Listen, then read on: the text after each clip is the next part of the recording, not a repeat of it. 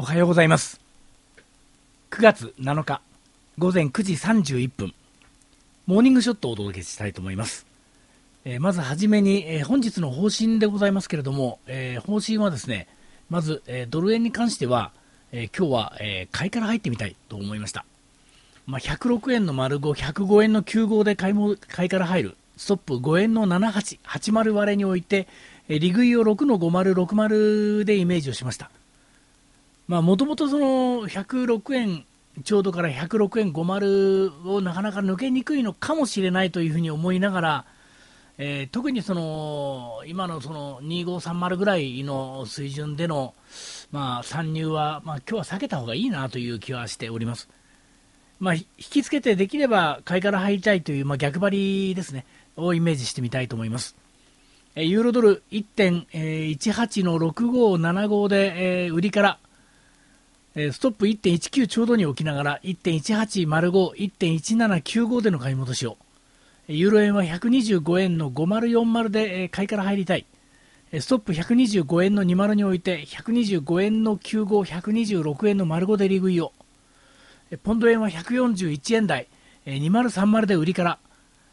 ストップは141円の50に置いて、140円の3020で、利食いを。あと、えー、OG 円は、えー77の7585で、えー売りから78の10にストップを置いて77円ちょうど76の90での買い戻しを、えーニュージー円は71円の、えー6070で、えー売りから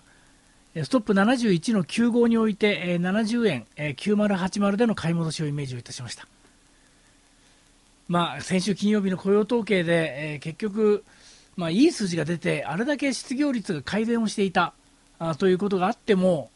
また平均時給もゼロの予想が0.4%というのが出たにもかかわらず、6の50ををタッチしたものの上に抜けなかったということ。で最後にあの20割れて18まで落と落とされての引けだったということ、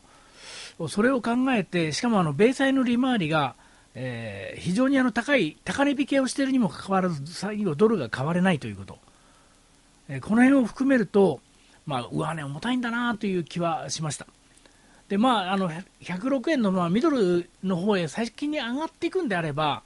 まあ、そこはあの叩いて売ってもいいかなという気はするんですけど、まあ、できれば、あのー流れから言ったら、やはり推しを1回買ってみたいなという気はしております。まあ、どちらにしても、えー本日、北米がお休みになりますので、えーマーケット、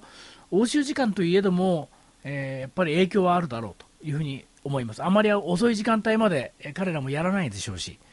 えそうなってくると、やっぱりあのアジアでもやっぱり流動性を考えながら、えーやるべきかなと、そんな風に考えています。また何かございましたら、よろしくどうぞお願い申し上げます。えー本日のモーニングショット、この辺で終了です。それでは、え本日もよろしくどうぞお願い申し上げます。失礼いたします。